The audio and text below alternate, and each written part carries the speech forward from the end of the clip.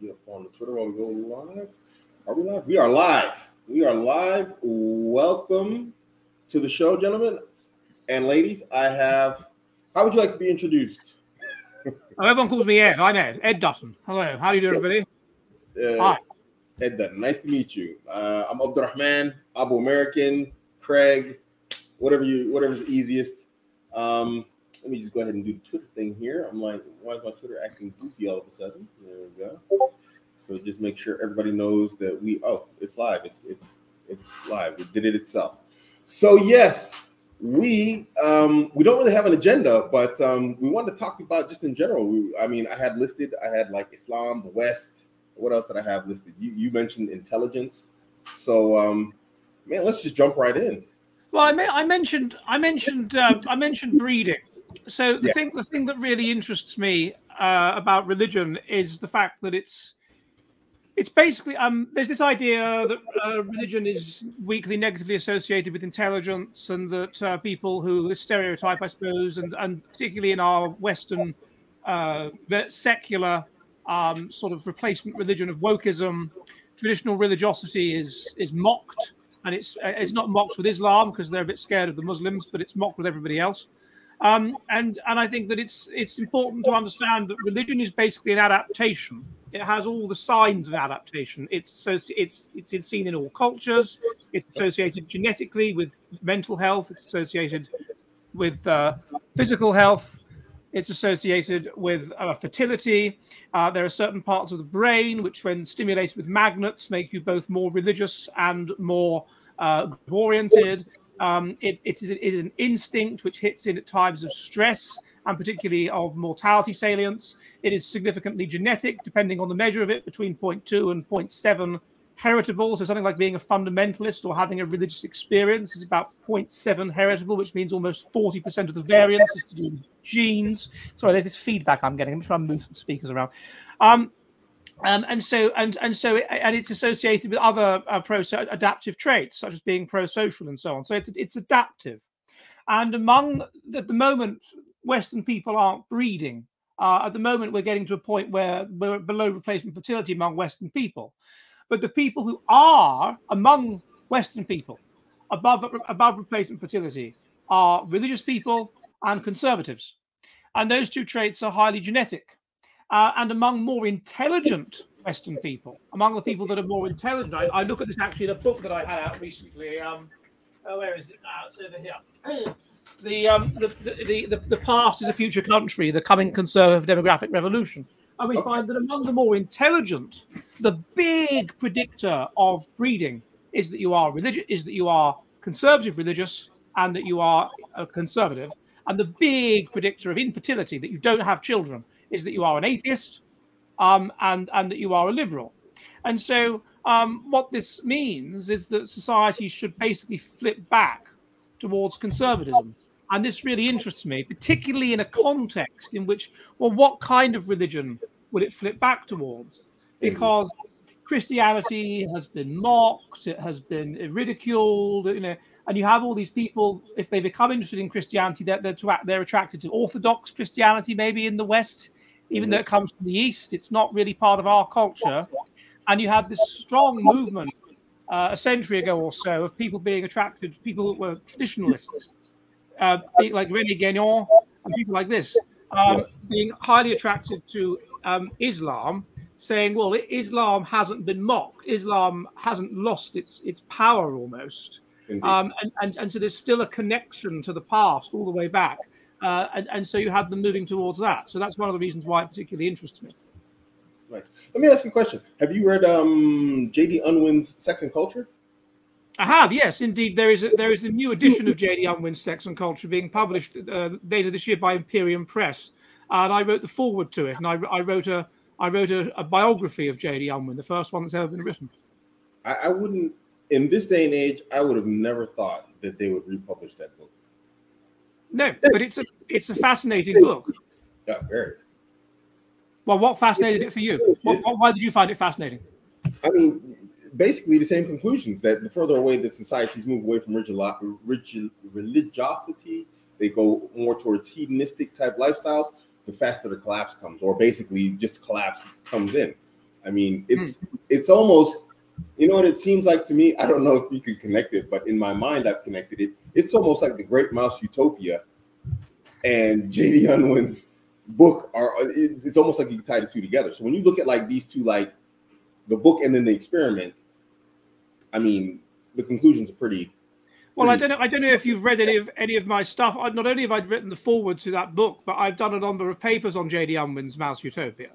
Okay. Um, and and um, yeah, it's it's it's very very interesting for people that aren't familiar with it. What he did was he took a load of he took a load of mice, removed all the disease and conditions of predation and anything like that, and basically he recreated a post-industrial society, i.e., a society where the child mortality rate in 1800 was about 50 percent and the child mortality rate now is one percent. So basically, no no child mortality, no selection out of sickness, of, of mental and physical sickness, and those two things tend to correlate. No selection out of those two things, and so uh, and so. Um, uh, what, what do you see? What do you see in the mice? You see that gradually you see an explosion in population, which is just what we saw in the 19th century, and then gradually you start to see weird behavior the, the, the, male mice behave like females, the beautiful ones. Yeah. And they, they, no interest in sex. They just groom each other all day long. The female mice behave like males and start fighting and killing each other and whatever. Yeah. Um, and eventually, none of them want to have children at all, and they all just die yeah. out. Yeah. And it's the end. It's, it's it's mutational meltdown. Yeah. Um, really what you're seeing in some ways is a very clear parallel to what's going on now which is that as we as as as the mutations are not washed out the, the, physical mutations build up, but these parallel mental mutations, because the mind is about 84% of the genome. So if you've got a malfunctioning body, you sure as damn it got a malfunctioning mind. It's a massive target of mutation. So you and you get all and all these bizarre things, and they all build up. I did a paper a few years ago about oh about uh, five years ago now called "The Mutant Says in His Heart There Is No God." And um, uh, what what we showed was that uh, was that um, uh, uh, being irreligious correlates with all kinds of markers of having high mutational load, basically of being mentally and physically sick, uh, which it does. So, so um, yeah, that, that is a that, that is a that is a fascinating um, insight into what might be happening in modern culture. He's frozen. Have I frozen? Someone's gone offline. I, don't know if I'm online and, and should be entertaining you and saying something, or if he's online. It's it's hard to tell. It would it would be good if someone in the chat could indicate uh, what's going on, whether it's my internet that's a problem or his. Uh, it's hard to tell now because someone in the chat.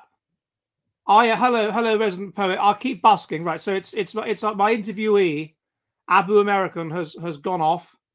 So um, all right, so I've got an audience who are mostly Muslim. Uh, just me now, resident poet. Oh, okay. Well, thank you, thank you very much for letting me know that. So I'm I'm, I'm preaching now to an audience that are mostly Muslim, uh, and uh, uh I, I'm straight in at the deep end here after eight minutes, and I have to I have to work out what to say. Uh, this is this is a bit difficult. I did I'm I'm not sure what to uh, what to suggest really, but I was just going to say that the uh, obviously it, it throws up all of these unusual people, all of these people that deviate from what we were selected for under harsh Darwinian conditions. And what we were basically selected for was to be group oriented.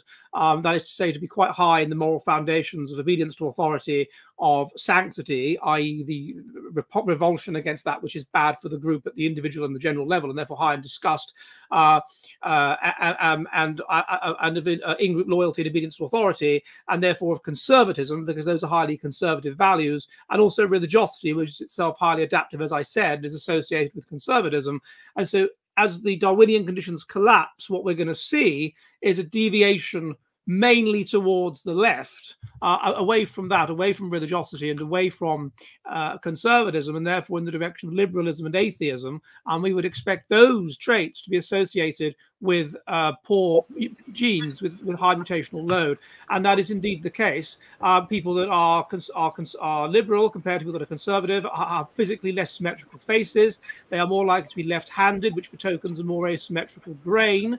Um, they they are physically shorter. Uh, they um, uh, get over disease less easily. Sorry, I've just been pre. I've just been talking to your audience because you went off. Uh, yeah, this is the first. I've never had the internet crash. It just completely it completely conked out. It was the weirdest thing. Never happened before. Are you um, are you in a part of America that has bad internet? No, no. I have I have cable in Germany. Oh, in Germany, oh.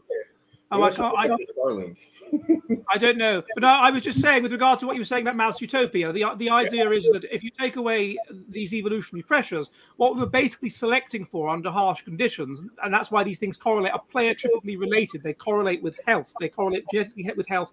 Um, is is religiosity and conservatism. And if you take away those selection pressures, then you just get this deviation from that um, into um, into people that are atheists, into people that are liberals, that are selfish, that are individualists, that are concerned with um, with, with, with anything but the good of the group. Because what religiosity tends to do, as far as I can see, is take that which is good for the group. Groups are under group selection; they're battling each other. Mm-hmm. And it takes that which uh, that which wins is that which is high in positive and negative ethnocentrism, all else being equal. Positive ethnocentrism internally cooperative, negative ethnocentrism repel the outsider. And what yeah. religion seems to do is it tends to take that which elevates those traits, which is good in group selection terms, and it just ma- it sanctifies, it makes them into the will of God. And so, if you look at the Old Testament, which of course is inherited by uh, the the Quran, um, then almost everything it does um, can be understood in those kinds of terms. It, it, it is it is a group selection manifesto, and it seems to me that what Islam is doing in complete contrast to the West. Um, if you go through the kind of thing which someone like Saeed Qutb, is that how you pronounce his name? Q U T B. Right.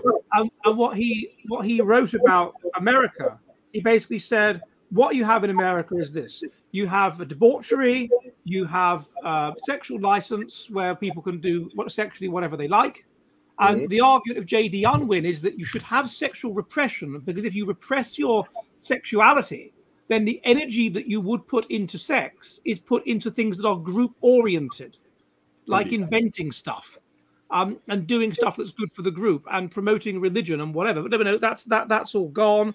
Um, you have no divine authority. There's no belief in superior meaning or metaphysics, and so therefore no one has any reason to do anything. So they just become selfish and degenerate. You have obsession with money and materialism because without a belief in something greater, that's what happens. So you have out of control usury, basically. Um, this, this creates a situation where society is run by just rich criminals um, uh, and everything's to do with wealth. Uh, uh, uh, and you have this trade in sex and whatever, and that's your society. And life has no meaning, and people feel terrible. And that was basically his argument. You know, you mentioned something that I, I found very interesting um, about uh, in-group preference. You know, there was a book I read by, um, well, actually, it's an anonymous book, anonymous conservative wrote this book called R slash K Selection Theory. Mm. And are you familiar with it? Yes, I've read it. Yeah this guy's read everything. This is great. It's like you're like one of the only people I know that's read the books that I've read. so yeah, um, so that actually makes some that I, I, like. I like how that plays into there with really religiosity and religion uh, with the R slash K selection that are selected people. And if those of you who don't know, I mean, I don't know how much time it would have taken to explaining R slash K selection theory, but let's just say that R selected people, if we accept that there are two groups of people with two different uh, strategies, if you will, within the, the, the human type, the human genome, if that's the right term to use. R selected people have no in group preference, and K selected people have a very strong in group preference, meaning um, they are more, uh, uh, what's the word? They, they're more like standoffish with outsiders, you know, as opposed to R selected people, they just don't care. Uh, it probably needs more explanation than that, but Well, it's a, it's a it's a spectrum, isn't it? And it, it's it's if you're if you're in an easy, unstable ecology, live fast, die young, then you need to pass on your genes as quickly as possible. So you, you invest all your energy in sex, uh, and you invest nothing in nurture, and you just hope that luck does the rest, basically. And because it's a dangerous, unstable ecology, you've got to be violent, you've got to be impulsive, you've got to be untrust. There's no point trusting anybody. There's no point creating bonds because the person can be wiped out and never be paid back. So you end up with these people that are very low in trust, uh, very low in cooperation, very impulsive, very nasty, very selfish, utterly about their own power and so forth, Machiavellian, narcissist. fair. Uh, basically like modern day liberals. I mean, Yeah, individualists. Exactly. I, I wanted to get at that. They're basically modern day liberals because our selected people, they don't really care about borders either. You know, and this is one of the things I put in the title is immigration. Is one of the things that I actually I I- I don't know why. the older I get, the the stronger the the feeling against immigration comes Mm. out. Even within my in group, my in group, I admit my in group is are Muslims. I absolutely have a strong love and proclivity for Muslims. But even within my own in group, I don't want Muslims coming here. It's just something about it that Is your is your in group to what extent, what to what extent is your in group being um, sub-Saharan African though, or, or even from somewhere more specific than that? I literally have no real connection uh, to sub-Saharan Africa. Uh, I mean, I've, I've married some sub- sub-Saharan African Muslims, but I, I have no real connection to anyone. Um, most of my close circle are prior U.S. military revert Muslims. It's So you're an, very- Af- Af- you're African American. Where, where, where, African American, yes. where, where are you from in, in, in America? I was born in California, but Texas is home. My mother is actually from the United Kingdom. She, she's from Trinidad, but she's a British citizen. Okay, so it's, it's all just it's West Africans. It's Dahomey. It's that, that, that's, that's I would, yeah, we, we can assume safely West Africa. and you don't, don't- you, you, you, you don't feel if confronted with uh, uh, black Muslims as opposed to South Asian Muslims more of an affinity to the black Muslims. No. No, actually, my my um, it's pretty it's pretty diverse. My connection, we, actually, my in group circle is that is really people who have a strong proclivity towards like a, a specific belief system within Islam. So I'm a Salafi Muslim. So my in group is generally only Salafi Muslims. I don't really deal with anyone other than them. You know, so that group is mixed. There's there's whites, mostly whites. Most of my most of my my my closest friends are white. Um, then there are some African Americans, and then when it comes to the UK, there's a there's a slight and small mix. Uh, Southeast Asians, uh, and yeah, and some Somalis. So they're Yeah. East Africans. Okay, so so it's a it's a I mean the the the, the, so it's it's it's it's conservative Islam then basically. But yeah, but the, the the unifying point for all of us is the unified idea of this Salafia in Islam, this conservative Islam. Yes, Yeah. that is yeah. the unifying point. Um, okay. Um, so, so, um, but with reference to what you were saying, the, the opposite of the R strategy is K strategy. And this is the idea that once the environment becomes harsh Mhm. and stable, then the carrying capacity for the species is reached. And so then the species members start competing against each other. Indeed. And then they have to become strongly adapted to the environment. And how do they compete against each other? Well, one of the things they do, you need you slow down. You take energy away from if you if you don't if you have lots of kids and invest nothing in them, they could all just die. So you have fewer children, you have fewer sexual partners, you invest more energy in nurturing them. Um, you have a longer childhood and generally slow down so you can learn more about your environment. You become more adapted to your environment because your environment's harsher and more difficult because you're competing. You become more intelligent. You you you are more likely to, to survive if you can be in groups. So you become more group oriented, more cooperative, more agreeable, uh, more conscientious. Um, and then and, and so and this is all promoted as the as, as the will of God. And even with something like patriarchy, which tends to be, you see it, of course, in the Old Testament, you see it in all of these religions. What is patriarchy? The woman is saying to the man, the, the man is saying to the woman, I want sex. And the woman is saying to the man, fine, if you want sex, then I want you to invest in me and my offspring because I'm more likely to survive and so are my offspring if you invest resources in me. So I want a high status man and I want you to invest in me. So then the man says, okay, if you want me to invest in you, I want to be sure it's my offspring. So so so I get to control your sexuality.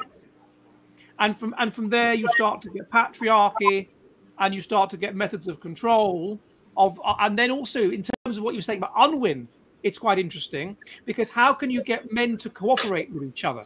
If the men are really concerned that the women are sleeping around, they're not going to cooperate. They're going to be fighting each other. Yeah, So you're going to have low positive ethnocentrism. Give them patriarchy, then they can be sure that their women aren't sleeping around, and then they'll cooperate with each other, and then they'll do better in the battle of group selection. So patriarchy gets selected for, and the men select women that are submissive to the patriarchy. Um, and, and then it gets interesting because then you take patriarchy away, and a lot of these uh, leftist women are anti patriarchal, individualists, whatever, take patriarchy away, and they're in a kind of evolutionary mismatch of women. They're sort of, well, what do I do? And what, what, what, my dad isn't telling them what to do. My brother's not telling them what to do, and they do crazy things. Yes. And there's a guy, there's a Greek uh, uh, psychologist called Menelaos Apostolou, and he's mm-hmm. written a book on this. Oh, what's the name of the, the title book? I can't remember. I look at it in my own book, which is Feminism and the Fall of the West. Anyway, but um, the, what's the name of the book? Uh, something something under a system of social choice. Anyway, and and uh, so yeah, so then you, will get women that will do maladaptive things because they. So that's what another thing that uh, distinguishes, I think, Islam in the West from what's going on in Europe. There's a constant questioning of patriarchy, and um, a lot of women are unhappy because they are evolved to patriarchy. They are literally adapted over a long time, particularly if they're conservative, particularly if they're cons- conservative sort of women, um, to, to want to be under a patriarchal system, and they're not. And if you look at the research on, let's say, the Amish, they have sky high levels of subjective happiness. And um, this is because they're living in an evolutionary match. This is the, and that's another point which Qutb made, which is interesting. He basically said that that, that um, society is meant to be in a certain way. He didn't put it in evolutionary terms, but he said it's meant to be in a certain way. And if people are in that kind of a society, i.e., where there is a religion of unity which follows the traditional rules of hmm. of the, the Old Testament, then they are happy. Take them away, and they are not. So let, us swing this into modern day, in, in all of this into the modern world that we're living in right now. When we look at the West in light of all of this information, I have my own conclusions. What are your conclusions of what the future holds for the West in specific? Well, in terms of the breeding patterns, what's happening is that among the more intelligent, if you, it's important to, when people people have this idea this breed them out idea. You see it promoted a lot among uh, sort of right wing American uh, podcasts. They say, well, but basically, religious people are having more, more children than non religious people. There's a genetic component to religiosity, to conservatism, so we're going to breed them out. And it, it doesn't work like that. Change does not come from below, change comes from the middle or even from the top. Okay. So, what, what we tend to imitate the elites. We're pack animals and we naturally imitate the elite. It's called uh, Yank concession syndrome or trickle effect or whatever. Um, elite mores trickle down the society. So yes. uh, you go back to the 60s, you had a new up and coming elite that was saying things like you shouldn't be racist, you shouldn't be homophobic, you shouldn't be sexist. Sure. Yeah. Um, those were not the views of ordinary British people and they've gradually trickled down the society such that even quite working class British people now adopt those views. Mm. So the change comes from the elite. So the question is, what's happening among the elite? That's the question. Okay. And if you and if you look at the, the data on who's breeding, which we look at in the past as a future country, then what you find that who's breeding a number of different people. Firstly, low IQ people. Uh, uh, uh, there is a weak correlation between negative correlation between IQ and how many children you have. We know it's genetic. The um, prevalence of alleles associated with intelligence is decreasing across time among Western native populations. So we're getting stupider at about the rate of a point, one IQ point per decade. And we've lost we lost about 15 IQ points based on reaction time data between 1880 and the year 2000, which is the difference between a science professor and a high school science teacher. So the first thing's happening is stupid. The second thing that's, that's, that's happening, obviously, is we're getting more non-white people who are non-white, uh, uh, particularly people who are South Asian or, and uh, Arab in Western countries, have significantly higher fertility. There's a heritability even to this, so that's increasing. Mm-hmm. Um, so that's the next thing. So what I would suggest is what you always get in the winter of civilization, which is that uh, uh basically structures, complex structures collapse. More more things go wrong. A because we're getting stupider. B because we balkanize into separate little sub kingdoms, like we just like we did last time around. Just like we did last time around with the fall of Rome. You have this large empire breaks up, multi-ethnic, low IQ, low trust, low cooperation, can't be held together, breaks up. The third thing that's happening among the elite is interesting, which is among the top quartile of IQ specifically, the big sterilizer is liberalism and atheism, and the big fertilizer is conservatism and particularly conservative religiosity. So what's happening is basically the left, the the left elite are becoming stupider, and the right wing elite are becoming more intelligent. Okay. And I mean, you can see this in real time. Look at the deputy leader of the Labour Party in the UK, Angela Rayner. That's why I've called this the Rayner effect. It's utterly stupid woman, and that and that and that's almost the best the left can offer. So what you're going to see is the percolation upwards into elite positions over the coming 20 or 30 years as society collapses into disorder and chaos and breaks up into warring ethnic microcosms and all of the things. If you have you read The Fate of Empires by, by John Glubb? I haven't, but I haven't read it yet. Oh, you must read it, my dear fellow. It's it's incredible. It's um, and he, he noticed it's the same things again and again in ancient Greece, in ancient Rome, in ancient Baghdad. It's exactly the same in the winter. You, uh, the heroes are always the same. They change from being military men to being pop stars and singers. Um, Yeah. you, you get materialism. Uh, Oh, the, the religion is questioned. read it. It was very short. Aristocracy, racial book, yeah. Aristocracy is questioned. Homosexuality becomes acceptable because the religion is questioned, and the religion represses homosexuality. Like Unwin represses homosexuality, represses feminism, represses, uh, promotes patriarchy, uh, promotes ethnocentrism. All that comes apart. You get mass immigration. You get balkanization. It, uh, you, you, it all, uh, and, the, and the elite stop breeding. And this is commented on in Rome. It's commented on in Greece. It's commented on in Baghdad Yeah, elite yeah. people stop. It's, it's exactly the same, um, and so that's what I would predict that you'll get this you'll get this collapse basically of civilization, but you'll get a retreat into a kind of neo-Byzantium, maybe we could call it, or a, a neo-Cordoba, maybe from an Islamic perspective. Um, you know, you'll, you'll, you'll, you'll, get these enclaves of civilization where things hold out. Um, and, and, and one of them will be the eventual holder. People forget that um, in 1070, a ship full of 300, 300 ships of Anglo Saxon notables left England and went to Byzantium. Intelligent people were leaving the third world chaos of the West for Byzantium and also for Cordoba. And I, I look at this, I think somewhere in, in my book on Islam, there was a number of uh, Saxon um, intellectuals that made their way from England to Cordoba because they or Cordoba basically held out a kind of Roman level of civilization. Mm, mm, But mm. eventually, Cordoba itself collapsed, um, and Byzantium was all that was left. So that's what I It would sounds like the eastward migration to political Dubai. will happen again, uh, like it did last time. So, what were you going to say? I said it sounds like the eastward migration of a lot of people who are intelligent to Dubai. That's what it sounds like. It's happening right now. There's a lot of people heading that way. I'm not really sure if this mean, is but I mean, a lot of people who are looking for like safety, security, you know, stability in terms of predictability, to where it's like you know you can get up in the morning, you can go out in the street, you're not going to get robbed, you're not going to get killed, there's not going to be chaos, there's not going to be filth, there's not going to be you know drug use or people fentanyl addicts everywhere, whatever else. They move to Dubai and then they continue their business there. They continue to flourish there. I, I'm seeing a lot of that right now. A matter of fact, I have a friend, uh, Mitchell uh, Abu Diab. He, he's a, a, a white revert to Islam and uh, we were talking about this on the show that there's like a, a, a very large migration of Westerners to Dubai right now. We were trying to actually like, why is this happening? It sounds yeah. I'm doing a lot of research on this at the moment. I'm, I've got a paper that's about to be published on the migration from California to Texas. Yeah. and that, and that and that's very clear. And I show in the paper it's eugenic. It's intelligent Californians getting the hell out of California. And I was in California a few weeks ago, oh, and, and, and, and just being there on just in somewhere like Berkeley, which is one of the richest cities in California, I can see exactly why. Um, you know, it, it's, it's, it was wonderful being in my hotel in Berkeley, this Oh. place where I couldn't smell human excrement and piss. And then the moment you leave the hotel, the moment you leave the hotel, I mean, in on the street in front of the hotel, it hits you.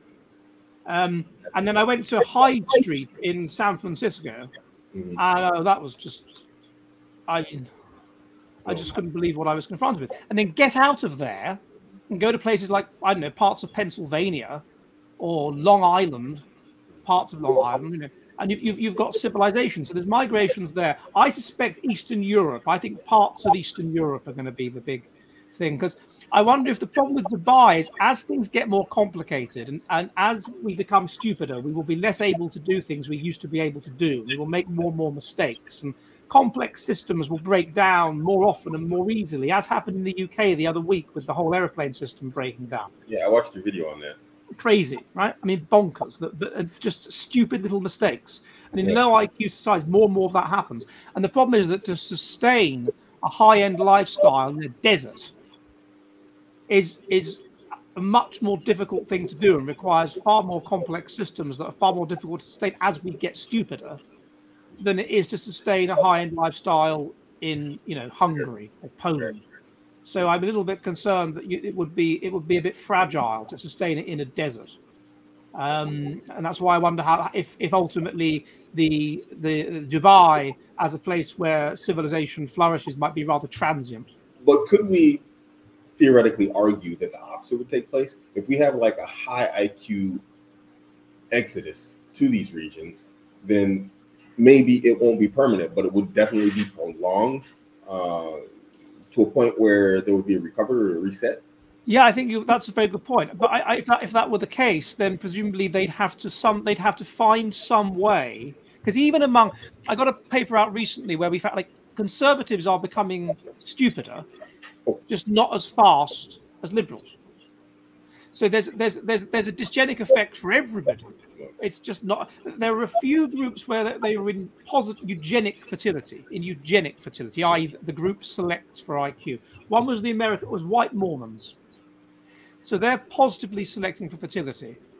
Um, I haven't got any data that indicates any Muslim groups are selecting for fertility. I'm an honorary researcher at a university in Saudi Arabia, Mhm. and I do, I, and I've done research with them on this. And as far as I can see, based on the data we've got, even Saudi Arabia is in dysgenic fertility. It's selecting against IQ, which makes sense because it's industrialized. Um, something seems to happen when people become too rich. There's this evidence. It happens in Rome. The rich just stop having kids. It Mhm. happened in Greece. Happened in Baghdad. It's like with our evolutionary match, which brings out our instincts, including our instincts to want children, is death. Lots of death. Mm. And there's research which has found that if you are primed with mortality salience, i.e., you're made to think about death, this makes you want to have children. It makes you think children are less expensive than you'd otherwise think they are. It makes you want to name children after yourself. Um, and indeed, if you are confronted with actual death, um, you know, with war, it, it makes you want to have children. So that implies that that's our match, and it, it brings out that instinct. And if we're in an evolutionary mismatch, that instinct is not brought out, and so it's people that are less in that are less environmentally sensitive that have children. And there's some evidence that people that are intelligent are more environmentally sensitive, so they, they are more requiring of a precise evolutionary match to put them on the adaptive path of life. Whereas people that are less intelligent, they're more R strategists, they're more, instinctive. People that are K strategists, they're evolved to very specific niches take them out of that niche, they're messed up. People that are strategists, they're involved in everywhere. So it's just it, it's just it, it's it's just instinct. It's just built into them. So low IQ people are higher in instinct, so therefore they, they have children and wherever it doesn't matter. People that are highly intelligent are less instinctive. The instincts aren't brought out, and so what that selects for then is people that, for whatever reason, are highly instinctively nativist. So Yes. it, it, it, it, it, natalist, sorry, it's a it's a it's a new um, uh, a new crucible of evolution is is uh, is modern culture, which is selecting for people that are instinctively desirous to have children, i.e., religious people and conservatives, um, and everyone else that's, that would otherwise have children uh, if they were confronted surrounded by death and whatever. They're not doing it. They're residing from the gene pool. Um, and so you'd have to, with regard to what you were saying, you'd have to have something that would induce that. You'd either have to have a eugenic society Okay. selected for intelligence Mhm. deliberately somehow, or you'd have to have um, a society which somehow made people want to have children, even if they were highly intelligent, because they were thinking about death all the time. Interesting. What do you think about this, real quick? I, I do. I do want to go back to the topic, but uh, what do you think of Yahya, Yahya's comment? He's "Not gonna lie, intelligence is overrated. Look at COVID." it's it's kind of a fair point when you look at the reaction of COVID. You know, when we look at like Western society and the reaction, the global reaction to the to the uh, we're gonna call it a pandemic. I don't know what your stance is on the pandemic. I call it the scamdemic.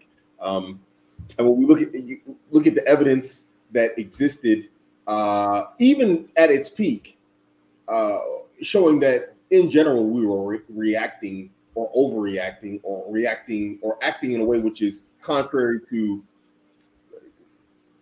when I say contrary to what's beneficial, look at Sweden. Sweden had almost no knock, lockdowns, whatever else, and their and their excess deaths didn't really. They're actually lower than most of the countries that locked down quite hard. So, is would you say there's a connection there in terms of intelligence being overrated by looking at the reaction that society had to something like COVID, or well, I don't know. What do you think? Well, um, it's an interesting question. It, it strikes me that two things occur to me about that. One is that the, what we would do in a pandemic was drawn up in the 50s or 60s in Britain. I mean, it was. Okay. When when people were uh, were more intelligent than they are now, um, on average, by a number of points, um, and when also people were higher in group-oriented values.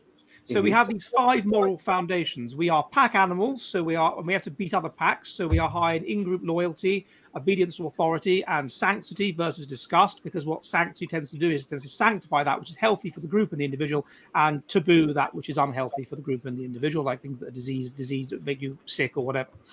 Um, and then you have because we must ascend the hierarchy of the pack, because in prehistory it was well there is there was an association between uh, socioeconomic status and fertility until relatively recently. Um, we are also high in equality, which means that you that's another foundation we have, which makes you you want you want at least equal to everybody else. So that's one foundation, and we are high in harm avoidance because this involves ultimately avoiding harm to ourselves. So we have these five moral foundations. Conservatives are about the same in all five. Liberals are only interested in the individualized, individualizing foundations of equality and harm avoidance. And so things, and so therefore there's asymmetric empathy uh, with things tending to move in a liberal direction until the liberals create such chaos and such dysphoria and such an evolutionary mismatch that you get a conservative shift back. Now, it strikes me that when these things were drawn up, we were a more intelligent, and intelligence makes you more rational, more more uh, uh, more future oriented, more more sort of harshly logical, autistic, if you like, um, and um, and and also we were more group oriented. And so, therefore, we said to the population in Britain as well, this is what we're going to do. We're going to achieve herd immunity. Mm. And when this was drawn up in the 50s, eugenics was still something that was quite popular among the ruling class. Yeah. Um, and, and, and, and they understood humans are a herd. I've got a new book out, by the way, called Breeding the Human Herd Eugenics, Dysgenics, and the Future of the Species, mm. um, in which it's over here in this direction. Yes, you see, this is my, my, my book on this topic, you see and and um, and so that's and so that I, I, talk about COVID in that, and so that's what we decided we do. Now, the problem was that since then, because of this build-up of mutants and whatever that are individualists and so forth, we've shifted over into being an individually oriented society. And then we've had, there's been a tipping point of maybe 20% has been reached in the 60s. We tip over to individualism, and then you have runaway individualism because then sort of intelligence is associated with conformity. People that are intelligent, they look around the world and they notice what the dominant set of values are and they understand the social benefits of conforming to them. So they imbibe those values and, and, they force themselves to believe them and then they competitively signal them. So you then get runaway individualism and that's what's happened. And so they were confronted with this logical reasonable plan and they were like no oh, oh, oh, the lack of equality. Oh, the harm. Oh, some people might die. Oh, old people might die. Oh, you're saying we're like animals. Oh my God, I am literally killing our faith. Yes, it's um, killing and, and so you have this irrational reaction. Okay. Now, let me personalize this conversation a bit. Uh, let me ask you a question, a personal question. Do you have any children? Yes, I do. Okay. May I ask how many? Two. Two. Okay. I have I have ten children. I don't think I'm going to save the West. You know, uh, not personally, but um, when we have the discussion of R slash K selection theory, society, intelligence, and all these types of things, you know, um, it's, it's my personal opinion that um, parental investment is more important than anything else. Obviously, um, I guess some people would call that what do they call this? Uh, nurture versus nature. Although I disagree with that. You know, I, I do think it's some of both. Uh, but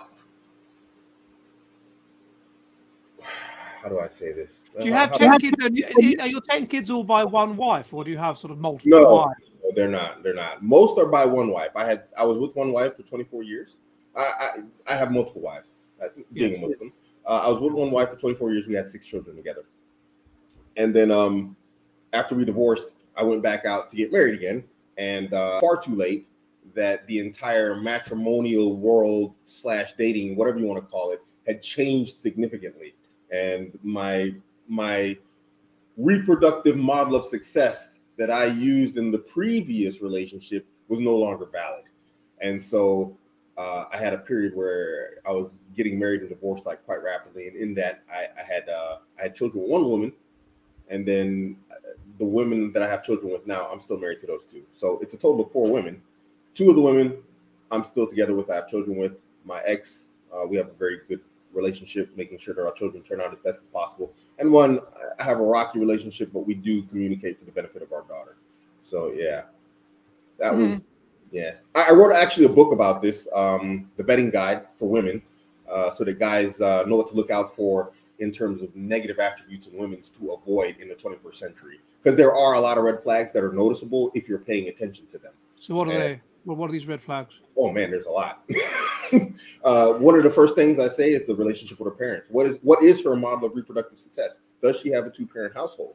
Does a woman know how to actually live in a household peacefully with a man? If she doesn't have that model in her life, she's going to be guessing. She's going to be taking uh, her examples from society. She's going to be taking it from social media. From Presumably, presumably, presumably, a number of your own children, because you're divorced, don't live in a two-parent household. No, absolutely. That's that's that is a problem. But I do maintain contact with the children. You know, we do have an idea. They do have a model. Like um, my children, they visit, so they do have an idea of what it looks like to live in a stable household. Because I do have stable households now. So those children that visit and come stay with me, which they do regularly, they can see what it looks like to be raised in a or to be in a in a in a relationship that is healthy.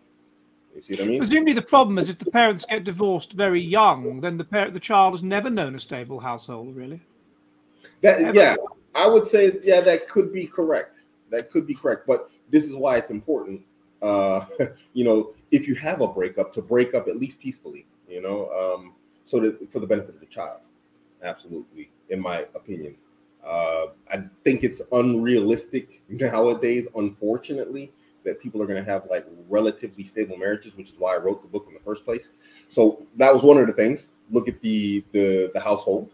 Two was look at um, social media usage, because I equate for women, social what is social media to women is adult education or adult entertainment for men.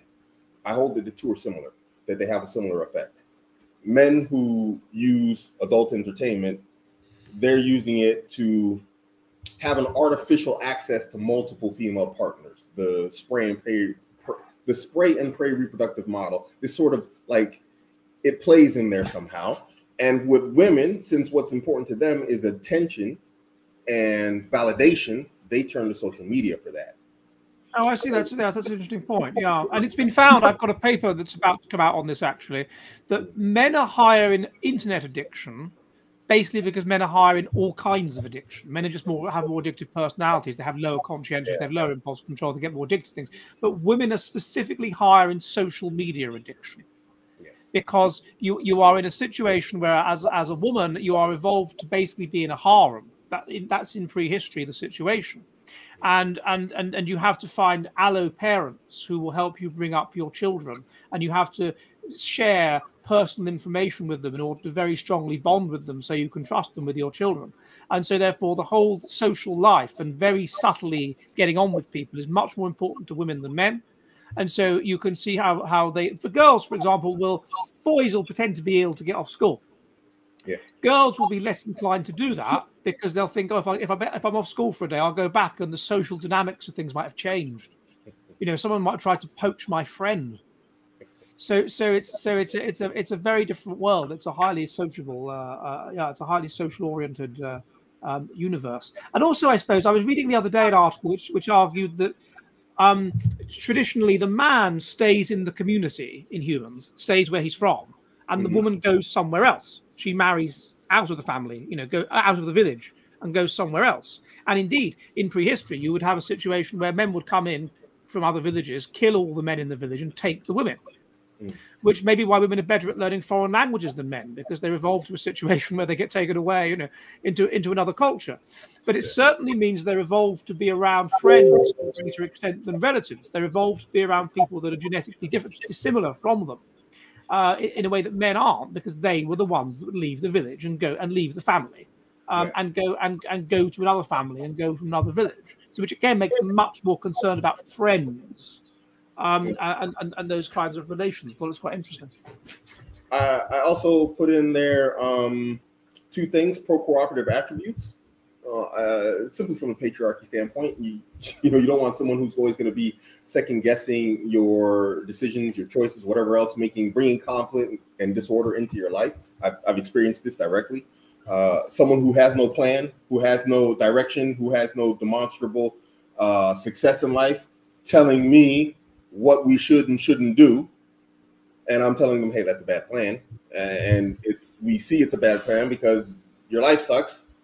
Uh, so pro cooperative attributes, and I also spoke about um, self care.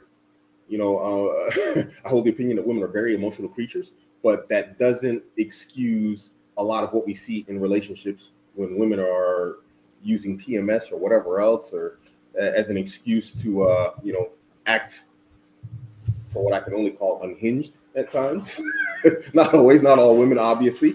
And so the ability to self-regulate emotions. And I compared this to men and their sexuality.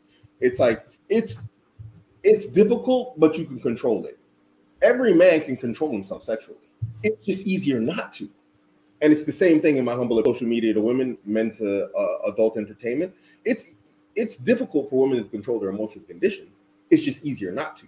And since there's very few or very little consequences societally and usually socially within their their circle, their family, uh, because people are forgiving because we, we love them.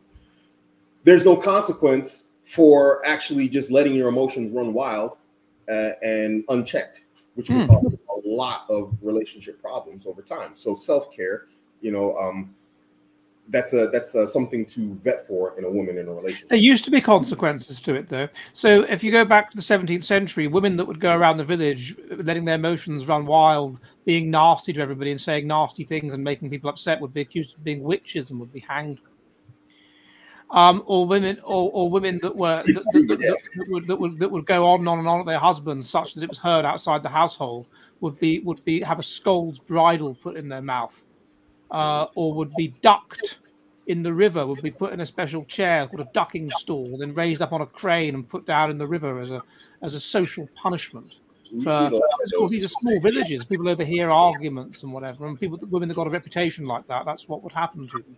And but of course, there were always consequences for men, and still are, who can't control their sexuality. Then there are there are serious consequences, and quite right too. But yeah. the but the but the the social shunning, the social consequences of females that fail to control uh, those kinds of emotions are, as you as you as you say, unless it's so extreme that they're classified as mentally ill. Yeah. Um, uh, and even then, I, it, seems they're permitted to live among us. I was at my local supermarket the other day. There's this girl that works there, a pretty young girl. Both her arms are a lattice work of cuts. Um, you know, there's there's obviously something seriously wrong with her. Yeah. Um, and and doing that, that that kind of behavior is associated among women with histrionic, with dark triad traits, basically, with histrionic personality, with moderately psychopathic traits. It's it's it's it's a way of uh, wanting people to take notice of you and manipulating people to do that. It's um, I've, I've dealt with owners, and it's not it's not it's not a comfortable way to be. It's not a comfortable relationship. No, indeed. We've moved off topic somewhat, haven't we? we yeah, sorry. About... Yeah, we were just sort of talking. uh, were talking about children, personalizing it. So, how does that look? I mean, when you look at me as a guy, Muslim guy, you know, 10 kids, mm. you must be harsh. You must be tired. Must be tiring. That's what this guy said. He said you look. I look tired. how how old how old are your children? Uh, the eldest are twenty six. They're twins. Uh, this from the wife with six kids. The twins. God, that must have been bloody tiring. It, it, was for the first children. It was. Um, I, actually I was very young, So it wasn't so bad. I had a lot of energy. I actually, my opinion is that people should have children younger because you have more energy. I see this now because I am, uh, I'm 50. I turned 51 this year, and you have more energy, you have more patience when you're young than you do if you have you know emotional cope these current well patients on the other hand testosterone levels go down a bit as you get older so people become less impulsive. And also there's evidence there's also evidence that as people get older they become higher in agreeableness and higher in conscientiousness. These, these things go up with age and they become more mentally stable so um, in some ways one could argue that you would be a more nurturing and a better father the older you got based on that point uh, You're right. You would get tired. You'd get tired more easily. You'd have less energy. Yeah. That would be the downside. One thing I was about, I was I wanted to throw in there is that you know I'm from Gen X, obviously, so we didn't have this extended adolescence. You know, um, you know, we, we didn't get to be children until we're 24, 25, 26, or whatever else. So or whatever the going thing is now, you know, in terms of. Uh, it seems to be early 30s. I've, I, have heard cases of people that are in their early 30s. No, I moved back in with my parents for a bit to save money. Yeah, that's why I've been counting. So I just, I just don't know where this, this, this adolescence ends nowadays. So I think if the person is mature enough, because it, I'll give you an example of what I mean. I was in Qatar. I was a, I was an English teacher there, and uh, then later on I worked for the Ministry of Defense uh, as a, as a language instructor. And I lived in an apartment building for a short time before I moved into a villa. And in this apartment building, there was this young girl. I mean, she was really, I, I, she couldn't have been four, maybe four at best. And that four year old was carrying a baby. And she was really like taking care of the child. Now, I'm not saying it's a praiseworthy thing. it's kind of problematic because she was wandering around in the hallway, just kind of, you know, some someone just at the kitchen. Well, Qatari, a Qatari girl. I don't think they were Qatari. Qataris don't live in apartment buildings. Uh, nonetheless, because I was concerned, I stopped and I kind of watched. It was on my floor, and I kept looking out. The child took very good care of the baby, and I was thinking, this child is more responsible than a lot of the adults that I know myself right now. So I think um, maybe depending on what society and culture you grow up in, say maybe a developing world country, uh, adolescence is not it's, it's a luxury that uh, a well, yeah, I mean, even, even in even in terms of the, the the concept of a teenager and I mean, it existed. I mean, everyone, even if you go back to the 16th century, they're talking about gangs of young people that, mm. are, that, that, are dangerous, that are difficult. Although it should be emphasized that because of poor nutrition and various factors, um, mm. people went through puberty a lot later. So that, that this is the, the, the, it's in a sense, it's one could argue it's almost like the industrial revolution and the consequent uh, in, um, improvements in health uh, based on that and improvements in uh, nutrition and so forth uh, have helped to create the, the, the notion of a teenager. Because it used to be that basically you were a child and um, and and puberty was quite a, the, the, process had to happen quite late and it was quite short. Uh, in victorian england the average girl would, would have her first period at about the age of 17 16 something like that sometime i mean if you uh, uh, but uh, but there was period there was a period of time um sorry this is late victoria um, in uh, yeah so high victorian england. So people were getting people it was interfering with how, with how we were living. The industrial revolution um at first made us less healthy. So there's this interesting phenomenon where it's called the, the mid-victorian health crisis where if you could trace your family tree and you're english you'll find that your ancestors that were born in the 1890s often would have died younger than your ancestors born in the 1850s. The life expectancy at 60 among those born in the 1850s was about 15 years. And we didn't get back to that until about 1979. And this was because of tinned fruit and, and uh, less exercise and all kinds of stuff that was that was going on, the mid-Victorian health crisis. And so the, the age at which women went through puberty started to rise um, but even even so, this idea that women go through puberty, that girls go through puberty at about twelve, um, it's uh, it's uh, it's a relatively modern uh, thing. It used to be a lot later they'd go through it, and that boys their voices break. Often their voices wouldn't break till they were about seventeen. Um, if you if you go back in history, so so it's that's new. And then the idea that it's a it's a distinct like liminal phase. If you go back before about the fifties, people that were teenagers just dressed like everybody else. Children dressed like everybody else. They just dressed in mini adult clothes. Um, and, and and now you know they, they dress in this distinct style, um, which they then carry on dressing in until they're in God knows how old. So it's a yeah, it's a new it's a new thing. Is this is this extended adolescence? You could argue though it's a K oriented thing because that's what K strategy should involve, and it? it should be a a strongly extended adolescence because mm-hmm. there's loads and loads to learn. Yeah, indeed. Mm. I would agree with that. So let me ask you, going back on topic, what do we do?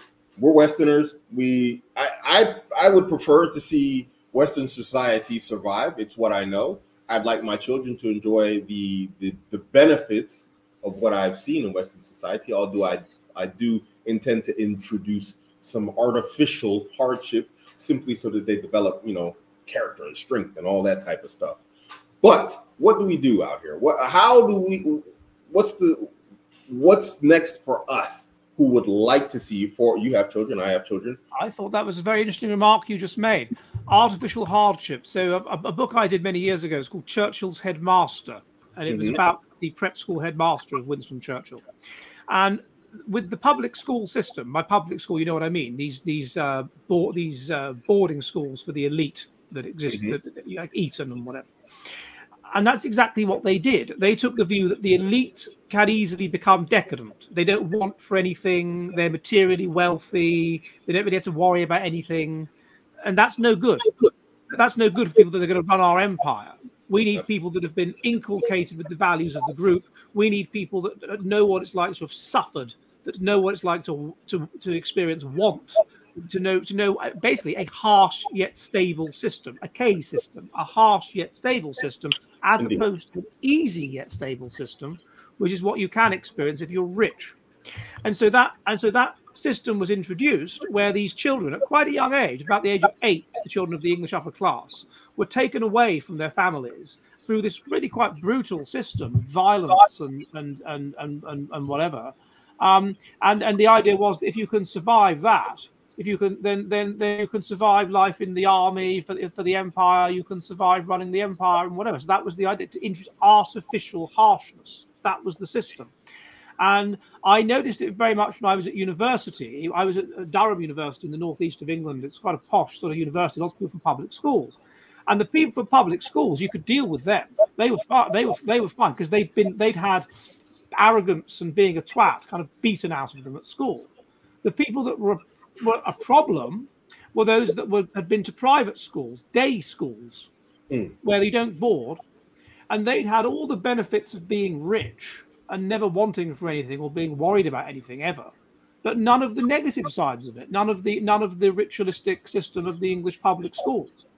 And so these people were just decadent arrogant entitled unpleasant people. And so i think i think i think i think you're right about that. Something like that uh, would be good for the society um, in Finland, I suppose they have, or at least they used to have, a lot of Scandinavian countries still have military service.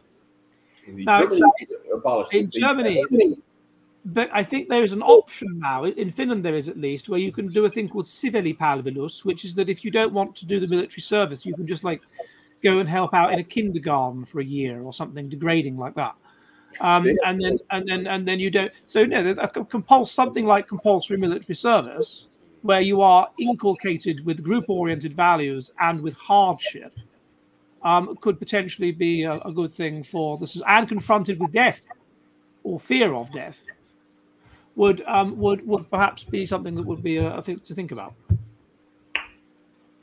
It sounds. I mean, but I think trying to introduce that in Western society on a whole is probably going to be quite difficult. no, uh, we're too we're too individually oriented, so it's it's so hard. It's so yeah. to do anything that's for the good of the group. The very idea we're in this, even with COVID, like clearly the thing to do was herd was herd immunity and yeah. but we couldn't bring ourselves to do it so you have this crazy system which we will be which we will regret for a hundred years yeah. of more of, of, locking down the economy. Of creating inflation of of of of, of uh, just such a terrible idea but and that's what they did. My wife asked a question but is it worth trying to survive in the west or should we just make an exit plan? We kind of talked about this with dubai. Yeah, I think I think I think that you will see this gradually happening. So you you will see um, more uh, as Western countries become stupider and stupider and more and more chaotic and more and more left wing, then gradually people that are intelligent and conservative, i.e., the, the breeders and the, the, the, people that have a sense of eternity, the people that have a sense of their own eternal importance, hmm. um, the people that basically believe in God to some extent, or at least something like that. Um, those people will gradually, and they're finding each other. The internet allows them to find each other for a start. It is beautiful. Um, the, the, those people will, and so you're getting this balkanization already. You know, one fascinating thing is that among generation Generation Z are not as left wing as they should be. They're the most woke left wing generation ever. But a, a, a, generation should be predictably more left wing than the preceding generation. That's how it's been going for a long time, right? So they should be they should be a certain degree more left wing than people that are forty. These people that are twenty, but they're not. Yeah. They're too. They're not left wing enough. And the reason for that is ultimately because of a right wing backlash among people that young. It's balkanization among polarization among people that young that's happening. And so those kinds of people are going to, I think, gradually, slowly congregate together uh, and, and, find ways of creating their own, what I call neo Byzantiums or whatever, um, in various places, um, uh, uh, parts of countries uh, areas of countries that will become increasingly fragmented. We already have that in the UK. You have parts of northern England that are de facto Muslim microstates, basically, and people that live there they, they don't leave, and people that are not from there don't go in, and it, they're just sort of de facto separate states. And you'll, you'll you get this balkanization in the winter of civilization, and this is what you'll get. And part of that will be these people that are intelligent, but also are um, probably relatively conservative, group-oriented uh, sort of values. I like the sound of that. You know, I've been talking about tribe building, online tribe building, meeting uh, meeting your tribe online and then meeting offline uh, for quite some time now. I actually made a Discord to try and build it, but you know, it's uh, it's it's much more difficult uh, in practicality than as opposed to theory. Theory and practicality are two different things, obviously.